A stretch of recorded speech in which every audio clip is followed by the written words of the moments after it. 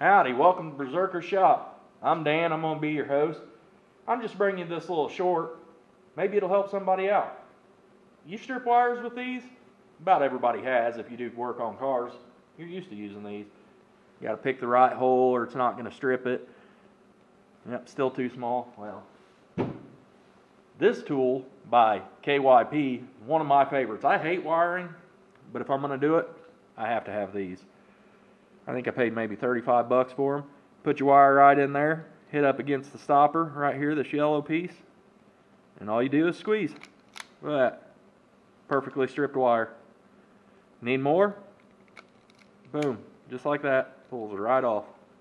So fresh, so clean. They bite down, pull it apart. I love these tools. They're definitely a time saver.